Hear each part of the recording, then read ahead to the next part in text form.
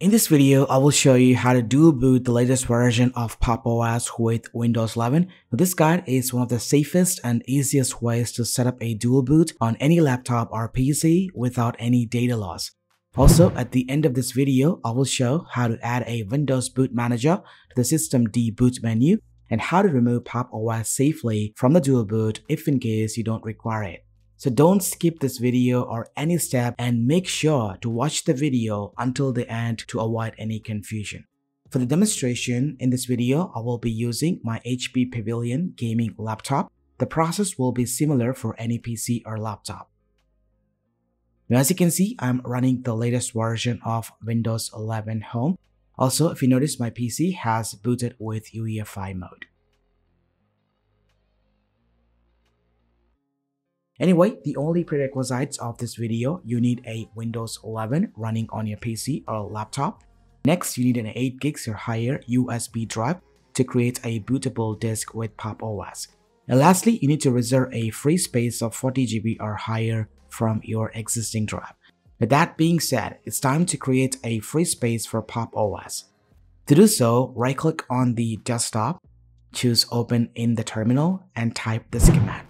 Now this will open a disk manager which shows all of the connected drives along with their partitions. Now as you can see in my case, one drive is connected. Now if you notice, drive 0 has three partitions. The first one is the EFI partition where the Windows bootloader is present. The second one is the main Windows and the last one is the recovery partition. I'm going to choose the C drive to shrink the free space for Pop! OS. Now in your case, it might be D, E, or F, whatever, just choose the partition and right click on it. Now choose shrink volume and allocate a minimum of 40 GB or higher for Pop! OS. You can type the value in megabytes. In my case, I'm going to allocate 100,000 megabytes that is equal to 100 GB and click on shrink. This will create an unallocated free space. That's it. We have done creating a free space for Pop! OS. Now open your favorite browser and go to the official website of Pop! OS and download the latest version. By the time of recording this video, Pop! OS 2204 is available to download, which is an LTS release. Now in your case, it might be different version and the process will be similar. Keep in mind, if your laptop or PC is having an NVIDIA GPU, download the NVIDIA version. If you don't have a specific graphic card, choose the normal ISO. Next up, head over to this website and download the Balena Etcher. Once it's downloaded, go ahead and install it. You go ahead and connect the USB drive to your PC or laptop. Once it's connected, open Balena Etcher. Then choose Flash from the file and import the ISO.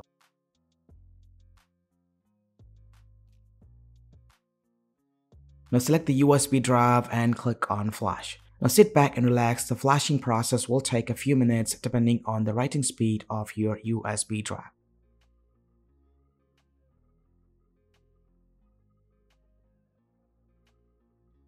You go ahead and reboot your computer.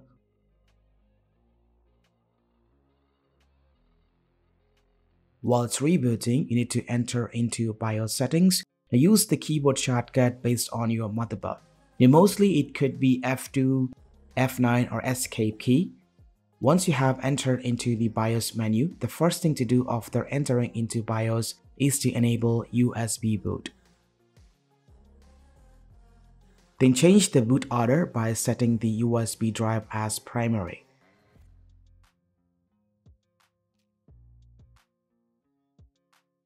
You go ahead and disable secure boot which is very important.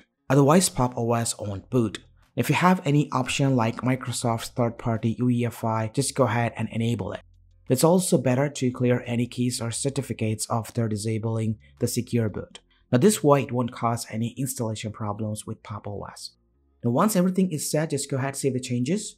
Now your system will boot into Pop! OS from the USB drive. Now if in case it fails to boot, use the boot menu to load Pop! OS installed media.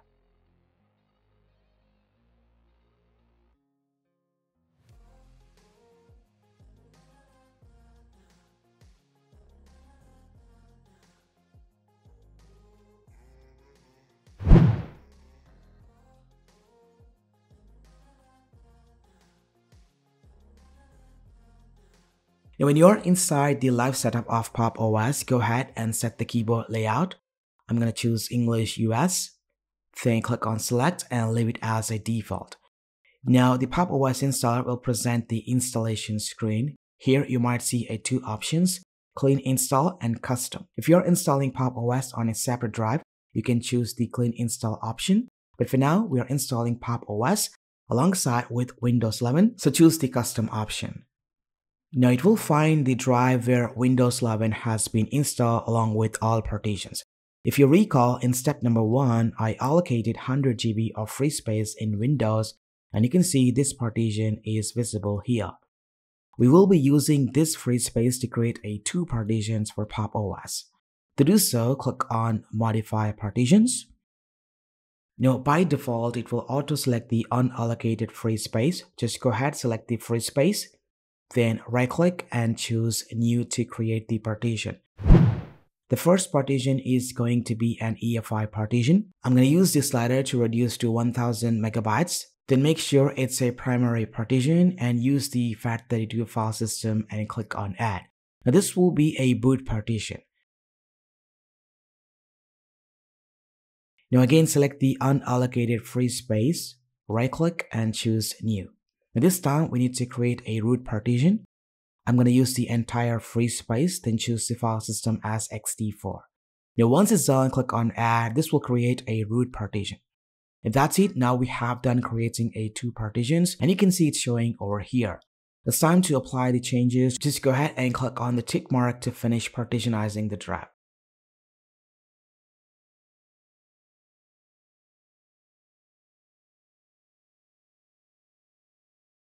If you notice carefully, there are two new partitions are showing with color tags. We need to select each partition one by one to tell the installer how it can be used by the system. You go ahead and select the FAT32 partition, which is a boot partition we created earlier, and enable use partition, then enable the format and use it as boot EFI. Then select the root partition and choose the format and set this as the root partition.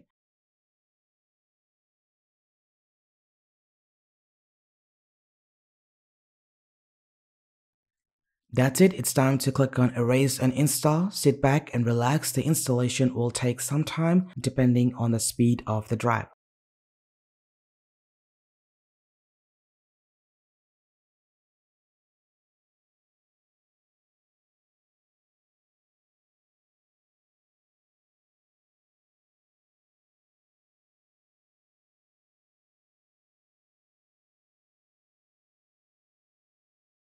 Now once it's done, go ahead and restart your computer by removing the bootable media.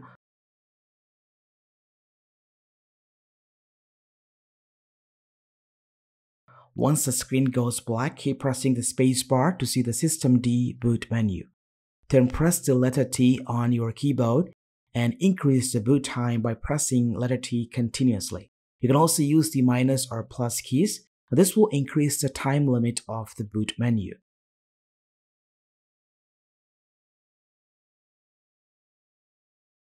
You go ahead and choose Pop! OS and press enter into the newly installed operating system.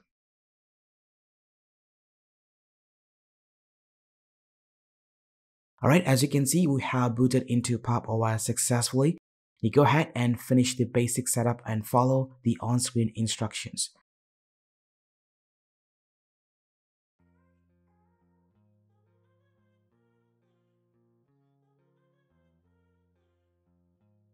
It's time to add the Windows Boot Manager to the systemd boot menu. If you recall, the systemd could not find the Windows Boot Manager and we need to add it manually. You can also use the boot menu to switch to Windows 11 and Pop! OS.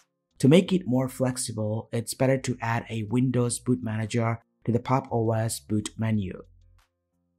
To do so, open the terminal and type this command to update the package list. Then type this command to install OS Prober. Then run this command to check if there are any entries of other operating systems. Now, as you can see, OS Prober found the Windows 11 boot manager, which is present in the first partition of the drive. Now in my case, it's NVMe 0N1P1. This is the main EFI partition created by the Windows 11 where all boot related files are stored. We need to copy the Windows 11 boot files from this partition to the Pop! OS EFI folder. To do so, first type this command to mount the first EFI partition to the MNT. Replace this part with your partition identifier.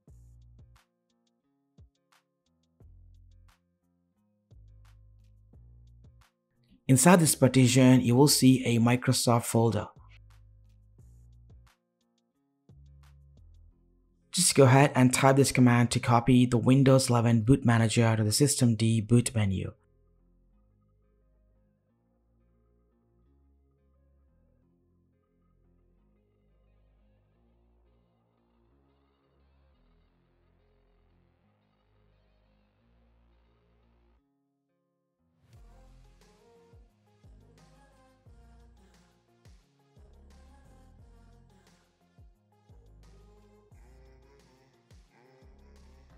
And that's it. Now go ahead and reboot the computer and this time it should show up as a Windows entry in the systemd boot menu. Now using this, you can switch to Windows 11 and Pop! OS seamlessly. Now let me go ahead and boot into Windows 11 to see how it works. And that's it guys, this is how you properly set up a Pop! OS along with Windows 11 without any data loss. Now compared to the grub boot menu, systemd is way better. It allows Windows 11 updates in the future without breaking the system. Now as a bonus part of this video, if in case you don't like Pop! OS and decided to uninstall, then reboot your computer. Then press the F9 or F10 or escape on your keyboard to enter the boot menu. You need to boot into Windows 11 using the normal boot menu instead of systemd.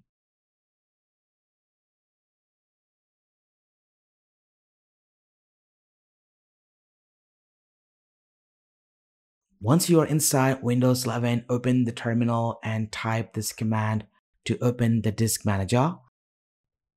Here in my case, next to the C drive, there are two new partitions are showing. We need to delete each partition one after the other.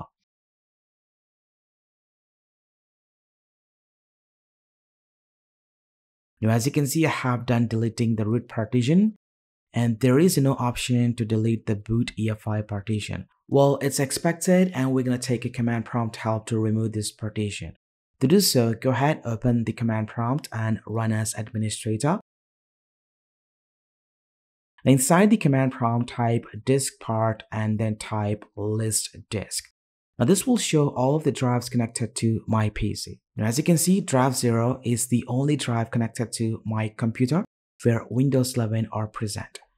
I'm going to go ahead and select this drive by typing select disk 0 now I'm going to type the list partition to view all the partitions of this drive. If you notice carefully, partition 5 is the Pop! OS boot partition, which we failed to delete from the disk manager, which is this one. Now as you can see, it's around a 1000 megabytes. We're going to go ahead and delete this partition. To do so, type this command to select this partition and make sure you have selected the proper partition then type delete partition override. Now as you can see under the disk manager, it's now deleted and we gain back the free space. You can use this free space and merge it back to the Windows 11.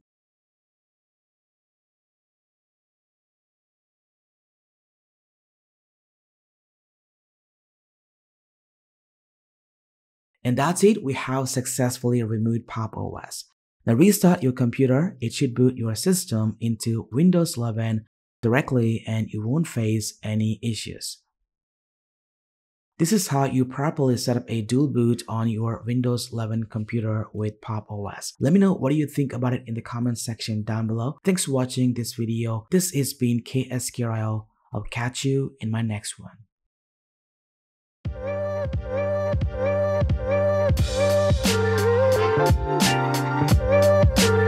Thank